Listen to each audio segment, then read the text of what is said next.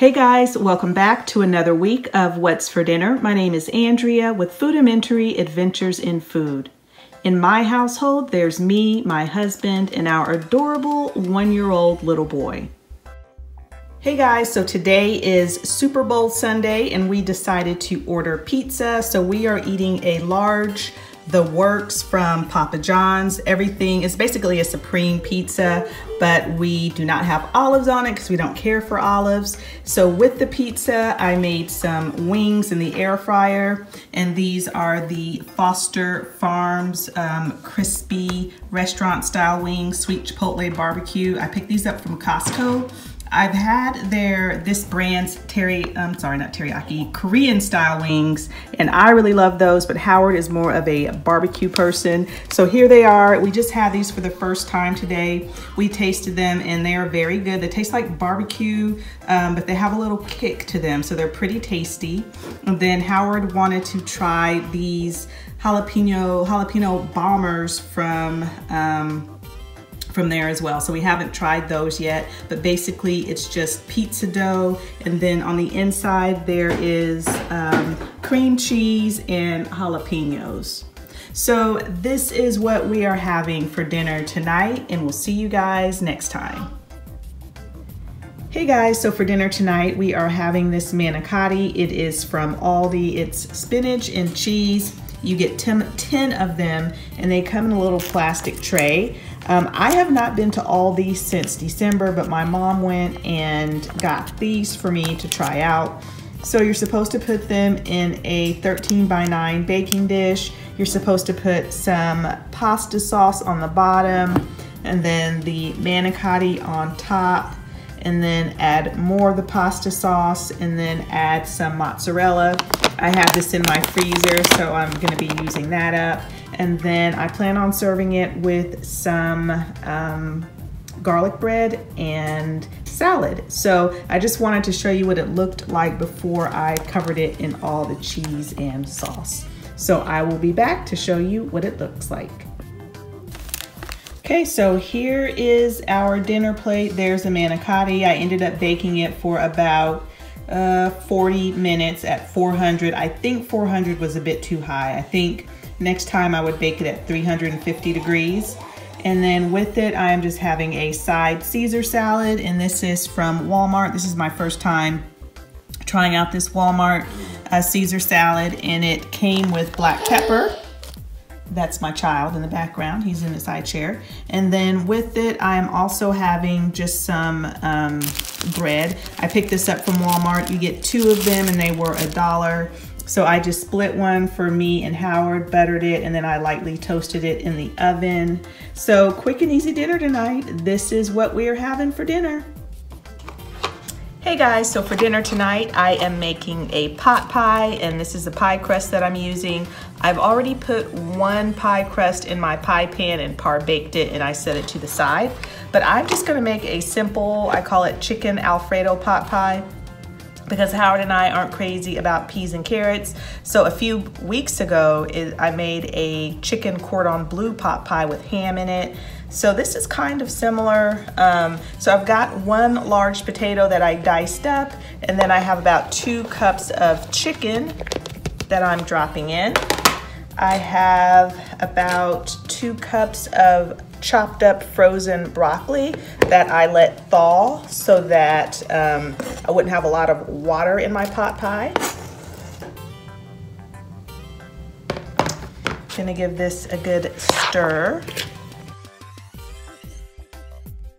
And gonna add in some garlic powder and some onion powder, not adding any additional salt in because I'm gonna be adding some cheese and I'm going to be adding some Alfredo sauce and I think that's gonna be salty enough for Howard and I. So now I'm just gonna add in my Alfredo. It's just a regular jar of Alfredo sauce. And I'm going to add in some Parmesan cheese that I had in my freezer.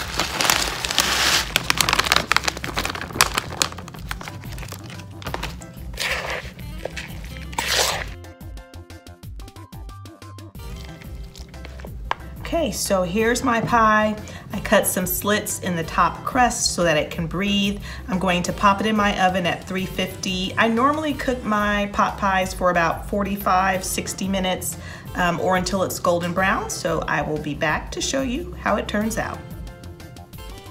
Okay, so here is the pot pie. I let it cook for a little over an hour and I cut out a slice. I actually cut it a little bit too soon. I should have let it cool a little bit more. Here it is on the plate, and as you can see, it kind of broke apart a little bit, but it's still going to be delish. So anyway, this is what we are having for dinner tonight, and we'll see you guys next time. Hey guys, so for dinner tonight we are having some Asian food from our freezer. So I made this, which we've had before and we really like it a lot. You just um, add some oil to the skillet and you stir fry it and it really does taste restaurant quality.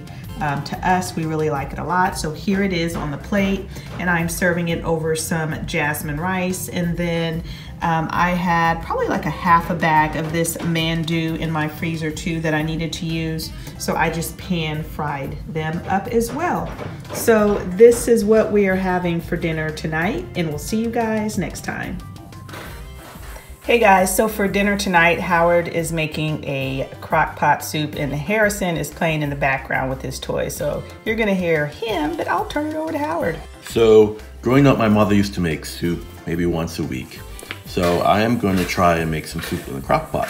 So we have a leftover ham bone from Thanksgiving that was in the freezer, so we took that out. I'm going to be using a packet of uh, soup mix. This is pumpkin flavored. Now, I know when everyone thinks of pumpkin soup, they're going to think of, of uh, Halloween pumpkins. It's different. It's not the same. So I grew up with pumpkin soup, but it's not like uh, Halloween pumpkins. So I'm going to use some potatoes in there. And uh, I'm going to add the soup mix. So what does it taste like, this pumpkin soup? So uh, it's hard to describe because I grew up eating pumpkin soup, but it, it, it's, it's just a regular soup. Is where, it savory or? Yes, it's not sweet. And I don't good. think it doesn't, it doesn't taste like pumpkin. it smells really good, actually, when you're pouring it out there. Uh, the seasoned packet. And then to that, I'm gonna add a can of butter beans. And butter beans is something that was eaten a lot in Jamaica? I like butter beans. So normally we have butter beans with a lot of different dishes. Um, but I, I, I, like it, so I put it in everything, including the soup. Now I only had one can, so I'm gonna add a can of uh, pinto beans. And to that, I'm just gonna add a little water. Maybe a cup of water on top of that.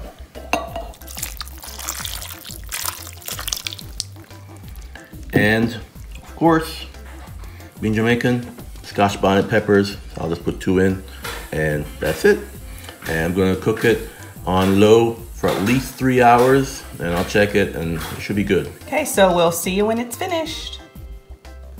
All right, so here is Howard's soup and it has been cooking for hours and it smells so good and we tasted it and it is really good. And I will say I'm not a big pumpkin fan. Oh, that's Harrison. He's ready to eat too. Aren't you ready? He's ready. Um, it, it doesn't taste like pumpkin because I don't like pumpkin, but it doesn't taste like pumpkin. It has a really good flavor, very savory. You can definitely taste the peppers in there.